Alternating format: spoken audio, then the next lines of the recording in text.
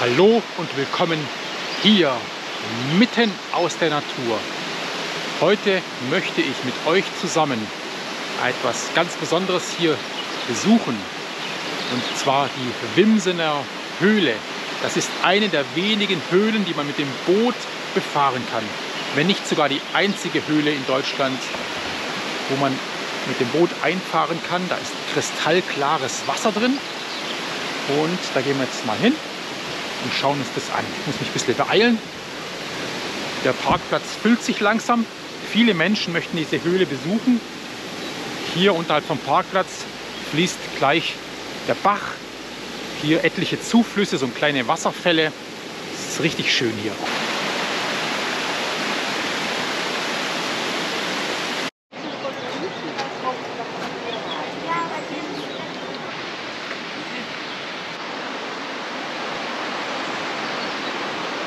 Das Wasser ist hier so kristallklar und so leicht grau-bläulich und immer wieder am Grund liegen dort solche Forellen.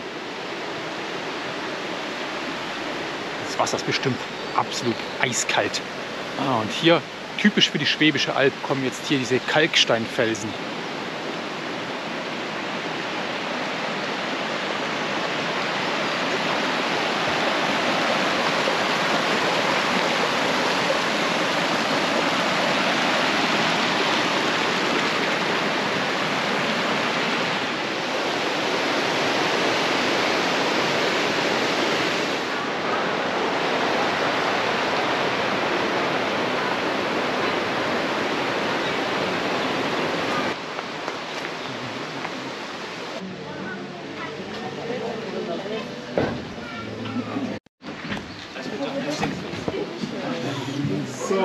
So, jetzt müssen wir mal gucken.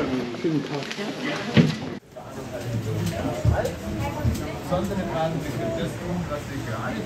Wir wollen noch gut rauskommen.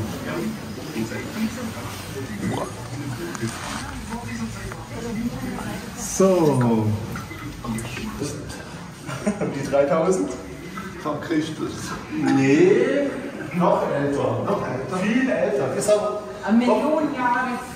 1,5 in etwa. 1,5 Millionen Jahre alt ist dieser Tropfstein.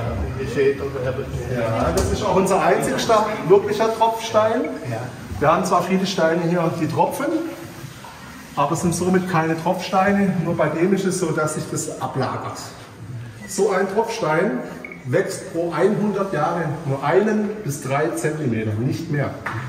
Geht's noch an den Hinterwald? Ja. Niemand mit Platzangst hier? Nein. Ah, ich bin voll los. Ihr dürft ruhig ein bisschen grinsen, sonst kriegen die alle Angst. In dieser Vorhalle dringt noch natürliches Sonnenlicht ein. Das ändert sich ab dieser Stelle jetzt hier rapide.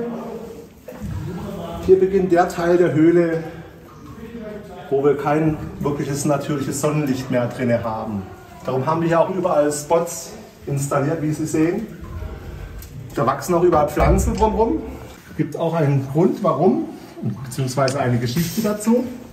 Und zwar im Jahre 1803 ist der König Friedrich I., nachdem diese Höhle auch benannt ist, auf Reisen gewesen hier. Und dieser Mensch war bekannt für seine Launenhaftigkeit. War schon ein guter Brudler, sagt man ja. Und gleichzeitig war er auch ein Schwerrenner, ein Schürzenjäger vor dem Herrn. Jetzt hatte dieser Mann an dem Tag überhaupt keine Lust, in dieser Höhle Bötchen zu fahren. Und hat mir ihm gesagt, hier drinnen würde eine halbnackte, blutjunge, wunderschöne Nymphe auf ihn warten. Und schwupps war der Mann natürlich an Bord. Ein paar Felsen, da kann man hier und da Kratzspuren erkennen. Da haben wir nämlich noch einen Mitbewohner, der immer klammheimlich hier reinkommt. Und das ist ein Biber. Jetzt gibt es Menschen, die arbeiten hier schon seit 30 Jahren. Hier sieht man rechts die Kratzspuren besonders gut. Und die haben noch nie diesen Biber gesehen. Und ich habe auf meiner Jungfernfahrt gleich das Vergnügen gehabt, den hier entlang. So, vorab eine kleine Info. Ich werde jetzt gleich das Boot hier verlassen. Aus. Gehört alles zum Programm, keine Angst. Weil ich muss später an der Spitze wieder rausfahren. Darum machen wir immer ein bisschen Höhlen-Yoga, nennen wir das ja.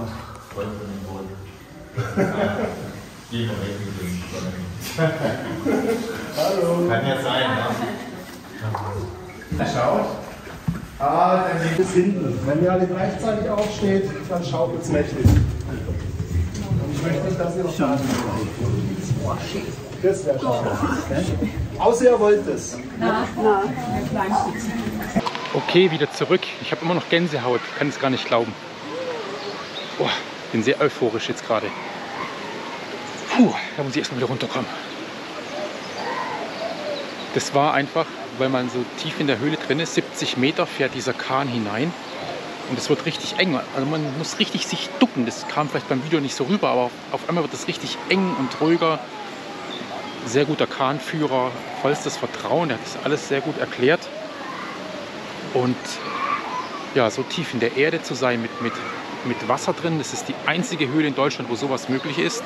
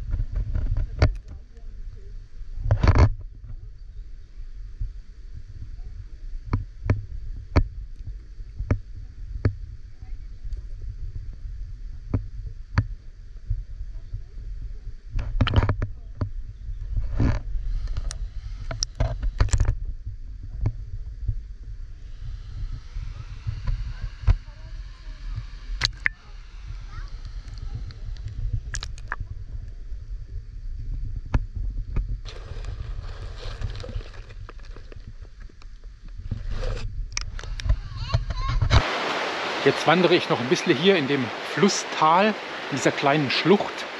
Und das erinnert mich hier richtig an Kanada hier. Also das ist ein Naturspektakel vom Feinsten.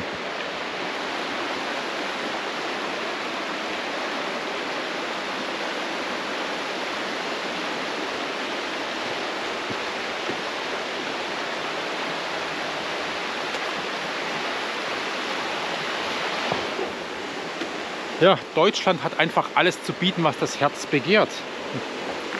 Kann ich einfach mal so sagen. Es ist so schön hier in diesem Land. So eine wunderbare Natur. Der Schwarzwald, jetzt hier die Schwäbische Alb, der Bodensee. Ja, ganz zu schweigen von den nördlichen Gebieten. Hier wachsen sehr viele Wildkräuter, wie zum Beispiel dieses Schöllkraut. Das Schöllkraut hat, wenn man ein Blättchen abreißt, einen gelblichen Saft. Und der wurde anscheinend früher auf Warzen geträufelt, damit die Warzen verschwinden.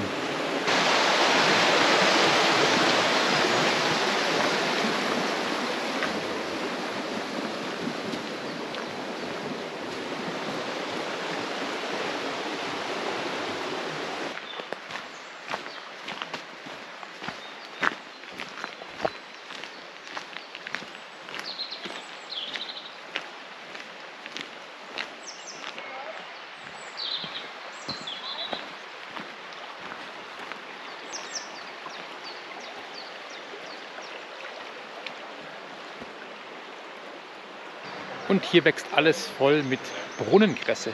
Da wollen wir mal probieren, wie die schmeckt.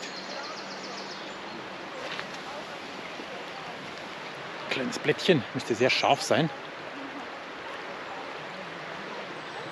Oh, es geht eigentlich. Mhm. So ein bisschen wie Senf und Meerrettich. Wirkt desinfizierend, auf jeden Fall. Und ist wohl jodhaltig.